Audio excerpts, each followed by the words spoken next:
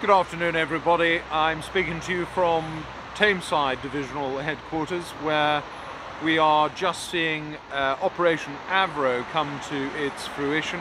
Uh, great industry locally, and the troops today, as they have done for months now, are fully engaged in the fight against crime and are doing really terrific work. This is the culmination of much of what has been going on in GMP over the course of the last year. It is now, of course, well known and understood that GMP has emerged very powerfully from special measures.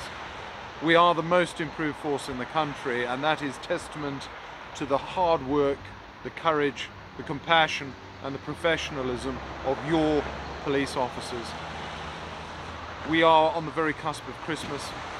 Uh, it is, for me, a great opportunity to say thank you to you, the public, for the support that you continue to give to GMP.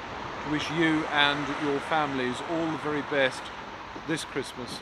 And here's to a happy, healthy and successful 2023.